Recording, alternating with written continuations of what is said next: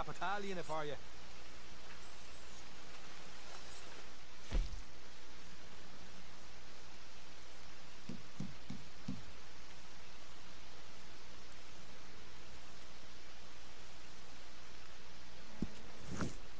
Now, I know to look at me, you wouldn't think I had a lot of valuable assets floating around the place.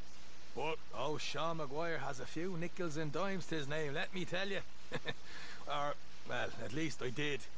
Until a certain group of ne'er-do-wells, mad with envy for me charisma and talent, decided to steal a whacking great bagful of what's wrongfully mine. Naturally, I take exception to this behaviour. So, why am I bringing this to you? Well, I was on the way out the door and go knock a few heads together myself when I remembered these particular bastards have a, a, a proclivity for Capitale. And I remembered you were in the Capitale business. So, the job's yours. Huh? ah, you can thank me later.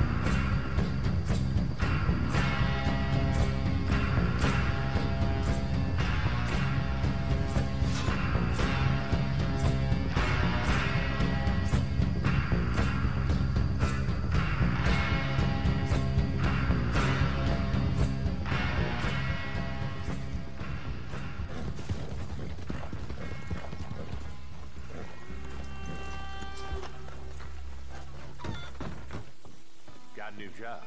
Might be some Capitale involved, too. New work. Maybe get some of your Capitale.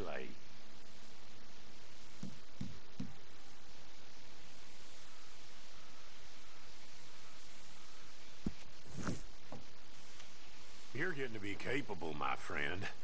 That's dangerous. Might start getting ideas. Ideas like you don't need old Joe no more. Might well cut him out and cut him up, huh? Well, let's see how capable you really are. There's a wagon, shipping dynamite, going up to Bacchus Station. Crew's been moving some of your Capitale, too.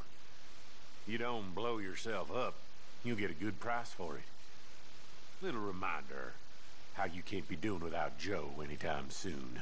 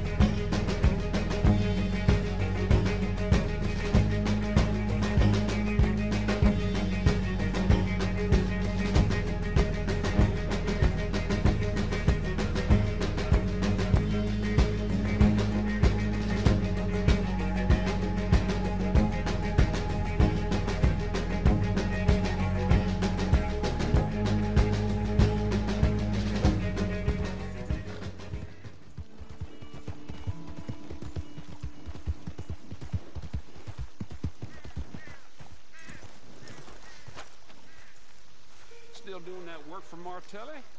Because I got a new lead for you. Got a new line of work here. Word is there's Capitale involved, too.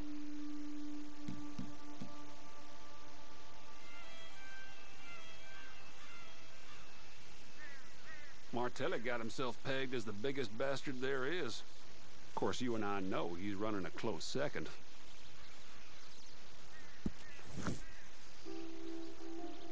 Matter how hard we work, some folks always think they're above the law. Which is to say, some folks think they're above me. Now, the folks in question run a gun-for-hire outfit. They believe their skill and strength at arms means they have no need of respect. Hmm. Find their payroll wagon. You'll need a schedule from someone. Word is they're holding Capitale, too. It's all fair game. Enjoy.